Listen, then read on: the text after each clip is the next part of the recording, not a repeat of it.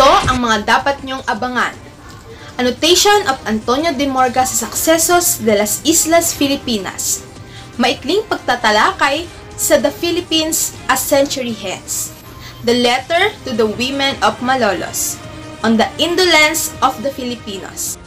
At ang Rizal and Macomisa.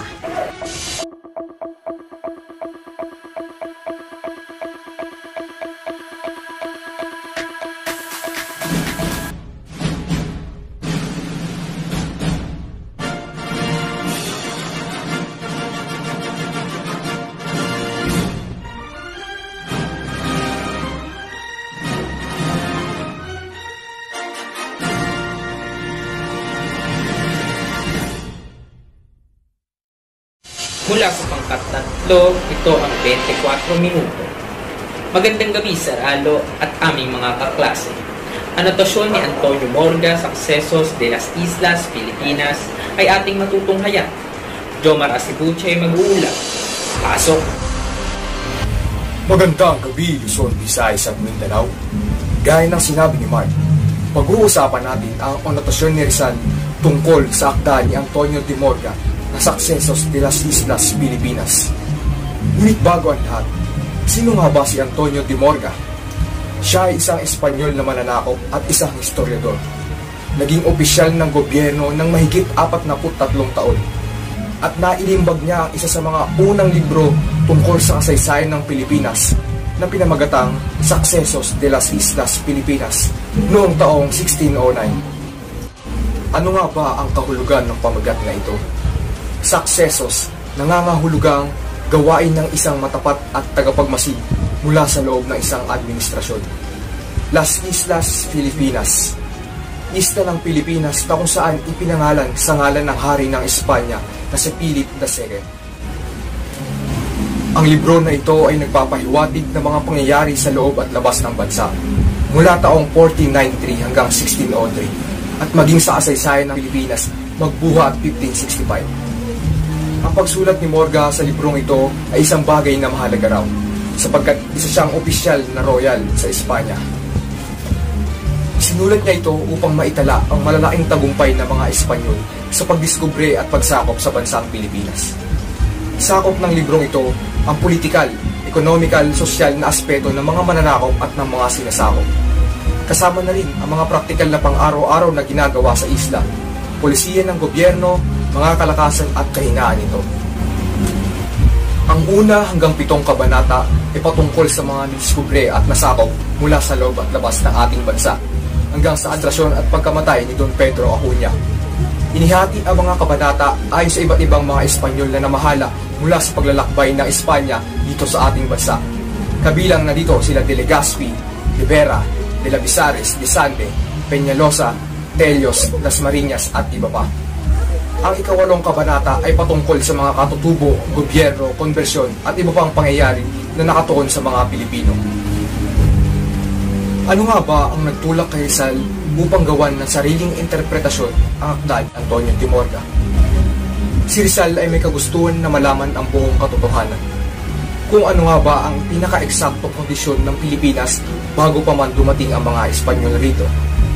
Paniwala niyang mayroon na isang maunlad at mayabong na ekonomiya at komunidad ang bansang Pilipinas. Sa kabilang banda, ating alamin ang nilalaman ng bawat kabanata ng akda ni Antonio de Morga. Sa unang kabanata, inilarawan kung paano nadiskubre ang isang mayabong at mayaman na isla na tinawag na Asia. Ilan sa mga ito ay ang isla ng Maluco, Silebes, Tendaya, Luzon, Mindanao at Borneo na tinawag na ngayong Pilipinas. Inilarawan din dito ang pagkatalo ni Fernando Magallanes o kilala sa tawag na Ferdinand Magellan at ang tagumpay ni Miguel Lopez de Legazpi sa pagpili ng digmaan. Kasama rin dito ang pagpapalaganap ng Katolisismo sa Cebu, sa simbahan ng siyudad ni Santissimo Nombre de Jesus. Sa ikalawang kabanata, taong 1575, nang gawing gobernador at kapitan ng isla ng Pilipinas, si Francisco de Sande. At kasabay nito ay ang pagkawala ng barkong San Juanillo sa karagatan sa ilalim ng pamamahala ni Kapitan Juan de Rivera at di kalaunan, pinalitan ni Don Gonzalo Ronquillo de Peñalosa si Francisco de Sande bilang kapitan at gobernador ng isa ng Pilipinas. Sa ikatlong bahagi naman, inilarawan kung paano at sino ang unang naging obispo ng Pilipinas. Walang iba kundi si Don Fray Domingo de Salazar at na-assign sa isang simbahan sa lungsod ng Maynila. Taong 1583, namatay si Don Gonzalo Ronquillo de Peñalosa dahil sa komplikasyon at kahinaan ng kalusugan.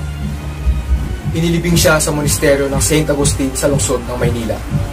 At sa parehong taon, nagkaroon na malawa ang sunog sa Maynila na naging dahilan ng pagkasira at pagkawala ng ilang mga ari-arian at pagdala sa bingit ng kamatayan ng iilan sa mga mamamayan. Sa ikaapat na bahagi naman, taong 1584 buwan ng Mayo, dumating sa Pilipinas ang presidente ng audyensya na si Santiago de Vera at kasabay nito ay ang pag-aalsa ng ilang katutubo sa Maynila at Pampanga. Naipatayo rin ang Fortress of Nuestra Señora de Guia na tinatawag na Baluarte de San Diego sa lungsod ng Maynila. At makalipas ang anim na taon, naluklok bilang bagong gobernador at kapitan general ng Pilipinas si Gomez Perez das Marinas. At para sa mga susunod na kabanata, ating painggan si Miss Maribig Luna. Ang administrasyon sa ilalim nila Dasmariñas, Telo Anticuña ay puwas ekspedisyon, pananakop at kalapitan. Ang tatlong ito ay ang mga naging Gobernador General ng Pilipinas ayon sa ikalima hanggang ikapitong kabanata ng libro ni Morgan. Ilan lamang ang pagpapatatag ng depensa sa Intramuros, ang naging sunog sa Maynila, at mga inisyatibong pagsakop sa iba't ibang lalawigan at isla sa Pilipinas, ang masasabing mahalagang detalye sa panahon na yon. May pagkakataon din na nagbantang pumasok ang mga Hapon sa ating bansa sa pamumuno ni Toyotomi Hideyoshi noong si Gomez pa ang Gobernador General. Sa pagkakataon na ito ay may mga lumalaban at nag-aalsa na. Katulad na lang ng insidente noong nag-aalsa ang mga Chinong tripulante at mapatay nila ang Gobernador General na si Gomez at mga kasamahan nito sa barko. Dagdag pa rito ang insidente no, sa barkong Heronimo kung saan labing-anim na tao ang kinatulan ng crucifixion. Natapwat ang mga pahayag ni Morga patungkol sa sistema ng politika noon ay malapit sa katotohanan. Ang kanyang mga obserbasyon patungkol sa katutubong tradisyon at kultura ay masasabing may kakulangan. Dito na papasok ang ating bayaning si Dr. Jose Rizal. Ang kanyang mga komento, pagtatama at compression ay makakatulong upang maiwasan ang stereotyping at maling pag-aakala tungkol sa kultura at tradisyon ng ating mga katutubo. Una sa lahat, ang mga katutubo natin na sa norte ay likas na matatapang. Kayang kanilang protektahan ang kanilang sarili. Salungat ito sa pinaparating ni Morgan na submissive ang mga ito. Hindi rin totoo na kumakain ng mga katutubo ng bulok na isda. Sa katunayan ay binuburo lamang ito at nangangamoy. Ayon kay Dr. Rizal, ang isdang tinutukoy dito ay bagoong. Ang klima sa Pilipinas ay dalawa lamang, tag-ulan at tag-init. Walang winter season gaya ng pag-aakala ni Morga. Mas bumababa lamang ang temperatura kumpara sa mga buwan ng March at November. May katotohanan din ang pahayag na nakasuot na ng kangan fabrics, bahag at putong sa ulo ang mga katutubo nang dumating ang mga Espanyol sa bansa. Ayon pa sa libro ay meron daw tayong tinatawag na namamahay o yung tumutulong sa kanyang amo sa mga bagay-bagay. At ayon sa kumpirmasyon ni Dr. Rizal, ay tinatawag na silang kasama sa panahon niya at nagtatrabaho para sa mga kapitalista at magsasaka. Wala rin tayong sistema ng hari at reyna at pinagdiinan ni Dr. Rizal na mas mainam ito dahil paano nga naman malalaman ng isang leader kung hindi siya pamilya sa pangangailangan at gusto ng kanyang mga tao. Lalo na't ang mga hari at reyna ay may mga magagarang bahay at buhay. Ginigiit din ni Morga na gumagamit ng shampoo na tinatawag na gogo ang mga katutubo noon. Ngunit ayon sa pagtatama ni Dr. Rizal, uh, ito ay panlaban lamang at hindi panghugas ng buhok. Ayon pa rin sa pahayag ng madadalat, naliligo raw ang mga katutubo na parang walang pakialam kung mahawaan sila ng sakit. Na agad naman tinanggi ni Dr. Rizal dahil may konsepto na tayo noon ng kalinisan. Katunayan ay meron tayong paraan kung paano maligo. Marahil dahil sa pagkakaiba ng kultura at tradisyon at magkaibang perspektibo ng karanasan ay magka- nagkaroon ng magkaibang opinion si Dr. Rizal at si Marga. At lahat ng paglilinaw at pagtatama mula kay Dr. Rizal ay para sa tatlong dahilan. Una ay para mabuksan ang isipan ng mga Pilipino tungkol sa pamumuhay ng kanilang mga ninuno. Pangalawa ay para itama ang mga detalyeng halos mabura na sa panahon ng Espanyol. Pangatlo ay para patunayan na sibilisado na ang mga katutubo natin bago pa madumating ang mga Espanyol. Maraming salamat, Jomar at Marivic, sa pag-ulat patungkol sa anotasyon sa Sucesos de las Islas Filipinas ni Antonio Morga. Tunay nga na ipinakita rito ang kasaysayan ng ating bansang Pilipinas, tulad ng mga namahala, kagawian at iba pa. At ngayon naman, mula sa ulat ni Rochelle Planas sa Philippines a Century Hence, Rochelle Planas, pasok! The Philippines, a century hence, o mas kilala sa pamagat sa Espanyol na Pilipinas dentro de 100 años, isang akdang inilathala ni Dr. Jose Rizal sa Madrid, Spain. Noong ikatatlumput ng Setyembre taong 1880 siyam hanggang ika-isa ng Pebrero taong 1900 at siyam na raan sa pahayagang La Solidaridad noong kataasan ng panahong kalampag o propaganda movement ng mga Pilipino sa Madrid, Spain. Isinulat ang akdang ito upang maipakita ang mga hula sa mga posibleng kinabukasan ng bansang Pilipinas pagkatapos ang isang daang taon.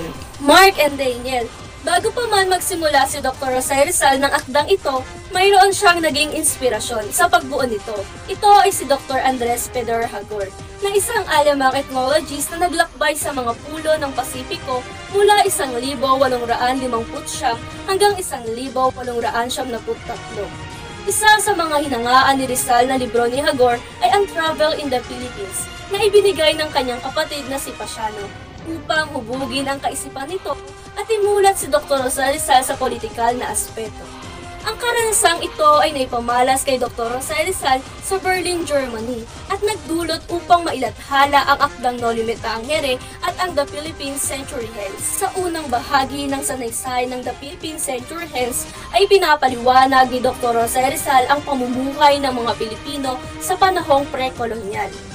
Ibinunyag din ni Dr. Jose ang mga paghihirap at miserableng karanasan ng mga Pilipino sa pamumuno ng Kastila.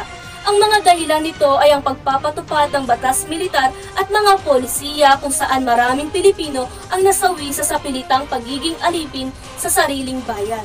Ipinapaliwanag dito ang naging pamumuhay ng mga Pilipino nang sakupin ito ng mga Kastila. Sa gitnang bahagi ng sanaysay ay mga tanong na nabuo ni Dr. Jose Rizal upang maging ideya sa kung anong mangyayari sa inang bayan makalipas ang isang daang taon at kung patuloy ba tayong magiging kolonya ng Espanya.